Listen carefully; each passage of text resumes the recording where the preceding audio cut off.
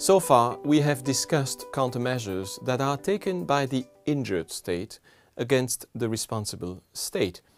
But as you know, other states than the injured state may also uh, have a right to invoke responsibility under the conditions set out in Article 48. Those other states have a rightful interest that, that the responsible state respects its international obligations when those obligations protect collective interests.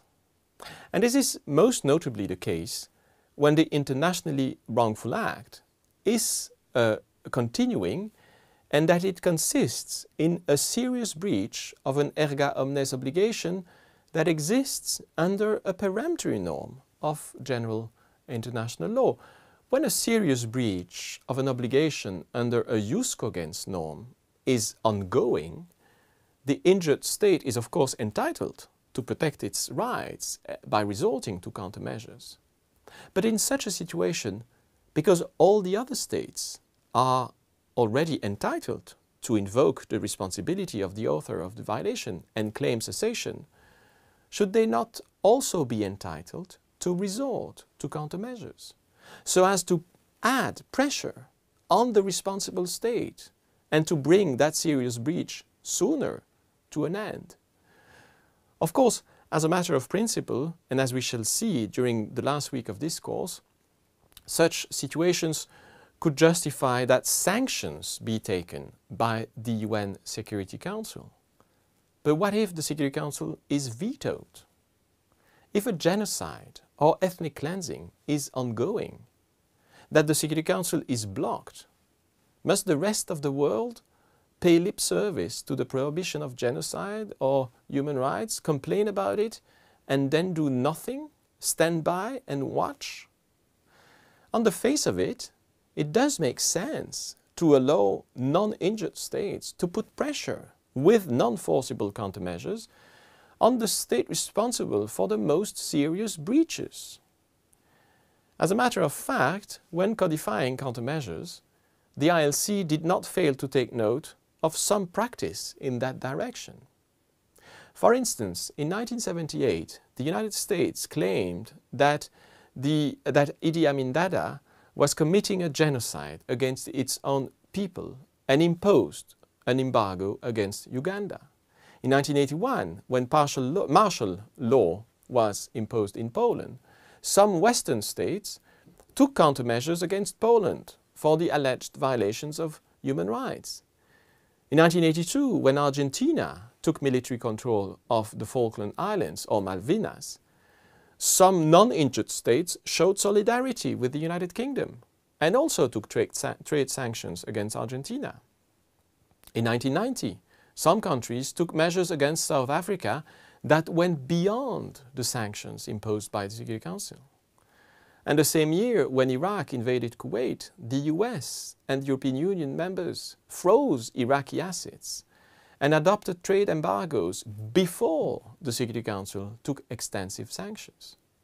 A few years later, in 1998, European, member state, European states also took countermeasures in the form of the suspension of aviation and trade agreements against the Federal Republic of Yugoslavia. Those measures were additional to UN sanctions and have been justified as a reaction to gross human rights violations or on the basis of a fundamental change of circumstances. And closer to us, the US and the European Union took a series of measures against Russia for its alleged involvement in the crisis in Ukraine. All those cases allowed to put in perspective the seemingly good idea of what can be called universal countermeasures. I say seemingly good idea because things are of course a little bit more complicated than just coming to the rescue of fundamental norms through other breaches. Indeed, how can one be certain that a serious breach of a jus cogens obligation has indeed occurred and is continuing? And how can one be sure that the countermeasure in response to such a breach when taken by a non-injured state, is genuinely pursuing the cessation of such breach and does not have any other political objective. Furthermore, And as all those examples show, why is it that universal countermeasures are nearly only used by non-injured Western st states? If international law were to tolerate countermeasures by non-injured states, would it not amount to, to giving even more power to those states that are already powerful? And if common values are indeed at stake and must be rescued, is it acceptable that some states, and besides always the same Western states, is it acceptable to offer to those states the legal entitlement that they take the common interest in their own hands and pretend to protect it by resorting to measures that are, as such, in breach of international law. In 1996, on the basis of the practice I mentioned earlier, and because of the desirability of seeing basic norms protected, the International Law Commission adopted a draft article according to which all states would have been entitled to take countermeasures in case of an ongoing crime of a state, that is, in case of a serious breach of an obligation under a jus cogens norm. The UN member states were called to comment on this proposal, but the reactions were extremely divisive, and the Western powers fairly isolated in their stance in favor of universal countermeasures. As a result, the ILC had to tune down its draft and find a compromise. It did so by inserting a without prejudice clause. And today Article 54 of the Articles on States Responsibility is entitled Measures, not countermeasures, measures taken by states other than an injured state. Non-injured states that are entitled to invoke the responsibility of another state under Article 48 are said to have also, I quote, the right to take lawful measures against that state, end of quote. What does that mean?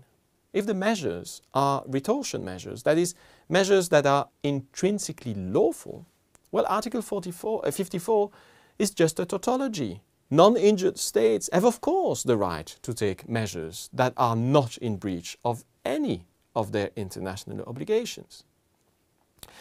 Commenting uh, uh, on Article 54, the International Law Commission writes that because, I quote, the current state of international law on countermeasures taken in general, in the general or collective interest is uncertain, end of quote, Article 54 is to be viewed as, I quote again, a saving clause which reserves the position and leaves the resolution of the matter to further development of international law.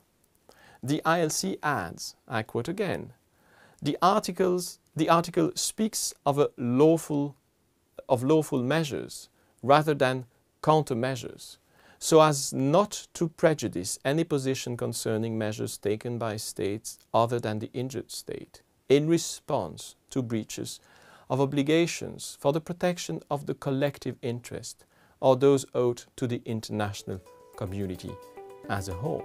End of quote.